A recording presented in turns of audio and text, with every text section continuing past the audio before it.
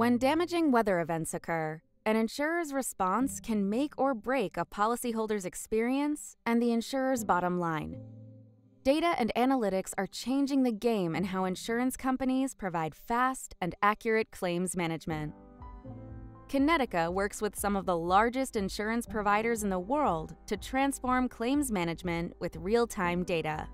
In this demo, we'll show how you can visualize billions of points on a map in real time, fuse massive spatial datasets with GeoJoins, apply machine learning to insights in real time. We start with a map overlaying real-time weather events and policy liabilities. These metrics and views come from two primary data sets. The first is policy data that includes building footprints, materials, structural types, and more.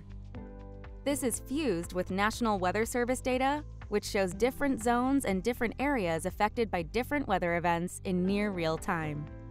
Surrounding the map, we have additional supporting data in the form of a timeline which shows how many different structures are affected by a given set of weather events.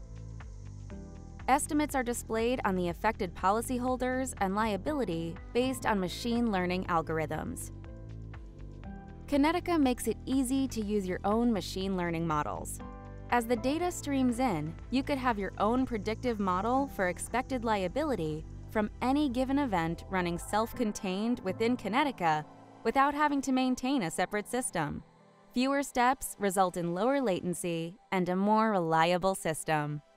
Information is aggregated on structure types, exterior materials, and roofing materials.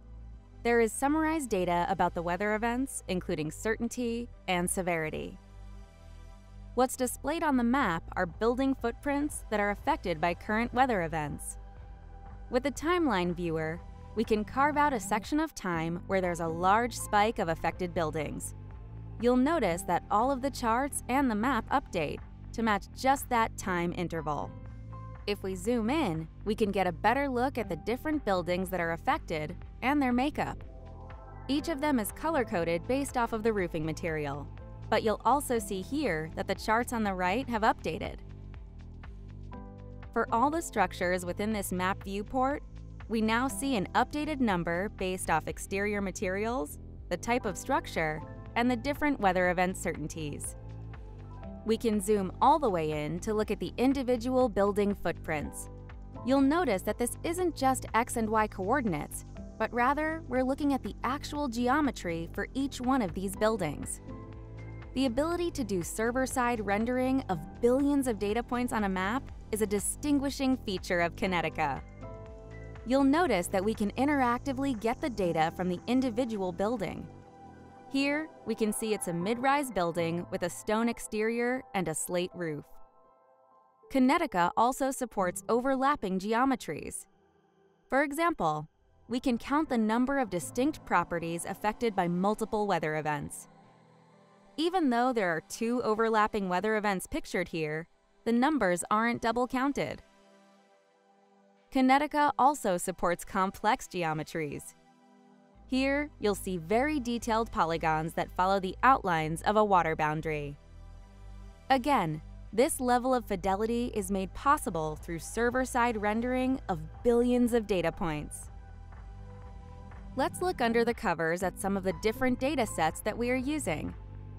This is the National Weather Service Alerts and includes things like the event ID, timestamps for when an event starts and ends, when it expires, and various other details along with geometry for each one of these weather events. Here we have policy data that includes the building footprints, building type, roof pitch, various other details, and again, the geometry for that particular building. Then, we join these datasets, which gives us the affected policyholders of weather events at any given point in time. This is done with a GeoJoin based on the geometry of both the weather events and policy data. Traditional analytic databases, even with special object relational extensions for spatiotemporal data, struggle to perform this operation at scale and speed. Further, this schema is being updated in real time. As the weather changes, the data and resulting analytics also change. Thank you for watching this brief demo on how Kinetica helps insurance companies transform claims management. To learn more, visit Kinetica.com.